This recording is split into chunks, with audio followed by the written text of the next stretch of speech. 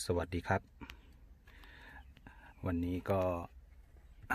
เอารถไปเช็คระยะนะครับ ก็ปัญหาก็เห็นแล้วครับเพิ่งช่วงนี้หน้าฝนเนาะอ่าผมใช้รถ All New D Max ปี 2012 นะฮะ ตัวแรกเลยนะครับ 2.5ครับปัญหาคือครับคลาสสิกเลยคือน้ำเข้า หลังคา ผมวันนั้นฝนตกหนัก ผมก็เอ๊ะอ่าน้ำอะไรมาหยดที่พรมเจ็ดเท้าอ่ารองรองอ่ารองเท้าเนาะสุดท้ายก็มองมาเห็นว่าตรงเนี้ยมีคาบคราบน้ำซึมนะแล้วก็ใต้พรมเนี่ยใต้ใต้ใต้นะครับ เปียกน้ำแต่ก็ไม่เยอะเท่าไหร่ ก็เลยว่า โอ้ ปัญหาคลาสสิกคือ หลังคารั่ว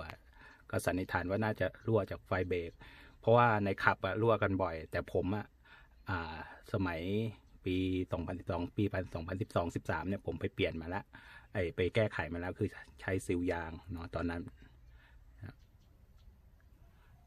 ครับ ผมจอดรถเอียงไงมันเลยไปทางโน้นด้วยนะ เข้าสันนิษฐานแบบนั้นนี่ครับ จะเห็นว่าด้านหลังตรงไฟเบรกนะครับ มีรอยคาบ คาบน้ำนะครับก็อาการเดิมมาอีก ซึ่งปี 2013 เนี่ย 12 13 เนี่ย ผมไปเปลี่ยนมาแล้วคือใส่ซิลยางแล้วมันหายไปนะครับ แล้วเขาก็ให้เคมอันนี้นะครับ มันอยู่ในประกันแต่ผมไม่เคมเนื่องจากอ่าผมมีรอย อะไรเจิมเป็นสิริมงคลอยู่นะครับ เลยไม่ได้เปลี่ยนฝ้าด้วย แต่ก็แก้ไขไฟเบรกแล้วเดี๋ยวไปดูกันนะครับนี่ครับไฟเบรกสมัยที่ตอนนั้นมันเป็นปัญหายอดฮิตใหม่ ๆ นะครับ ผมก็ไปที่ศูนย์ ศูนย์เขาก็แก้ให้ก็คือ มีซิลยาง เดิมมันไม่มีนะครับ เป็นซิลยางมา ก็อาการนั้นก็หายไป จนมาปีนี้ครับ ปี 2020โอ้แปดปีแล้ว ตรงนี้เห็นว่าตรงนี้ตรงนี้โอเค ตรงนี้จะเห็นว่าเวลามันโดนแดดแล้วมันจะล้าเนาะมันไม่ได้ทากาวเพราะมันแค่ซับไว้ เขาสันนิษฐานว่ามันน่าจะเข้าตรงนี้นะครับก็เลย เปลี่ยน เพราะตอนนั้นผมเปลี่ยนมามันอาการมันหายผมก็เลยไม่ได้เปลี่ยนมา เพราะว่าเพื่อนๆหรือนานาหลายคนบอกว่านอกจากซิลแล้วมันจะต้องมีถ้วยข้างในนะครับ ก็เลยตอนนั้นก็ชะล่าใจไม่ได้ใส่ถ้วย ตอนนี้ก็คือแก้ไขเรียบร้อยแล้วอุปกรณ์ที่แก้ไขก็คือมีไขควงนะครับอันนี้ออกสองอันนะครับ แล้วก็มีแอลกอฮอล์ไว้เช็ดทำความสะอาดนะ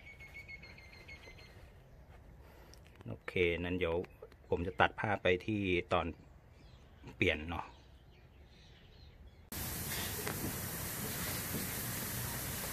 ไม่เห็นรอยไปแล้วพี่อืมเห็นรอยคือคือมันจะมีคราบฝุ่นตรงนี้เนาะถ้าเกิดน้ำเข้าครับปัญหายอดฮิตเนี่ยมีรอยมีสิวยางแล้วนะครับ แต่มันโดนความร้อนแล้วมันหดตัว ต้องมีเบ้าพลาสติกอยู่ข้างในต่อตาคนนี่คือน้ำมันจะซึมเข้าไร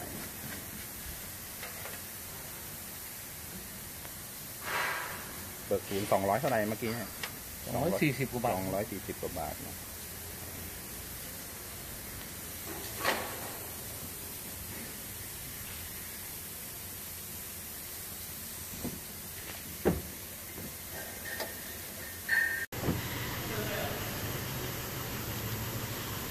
ตัว นะครับ เป็นพลาสติกไฟเบรกดวงที่สามแอลกอฮอล์เช็ดให้เปลี่ยน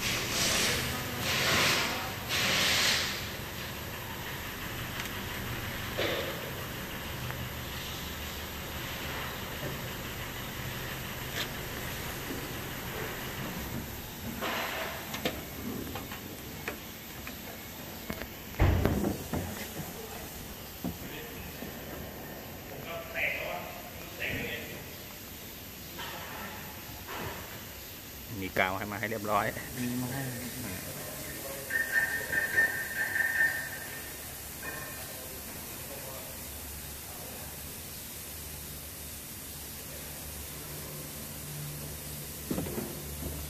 เอาแอลกอฮอล์เช็ดคราบไขมันออกเป็นเสียงขมันสองตัว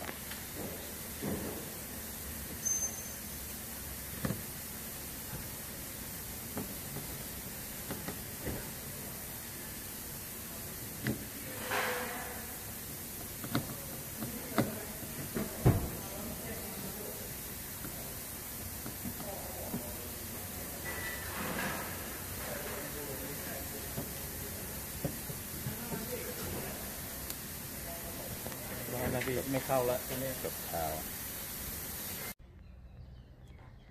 ครับหลังจากที่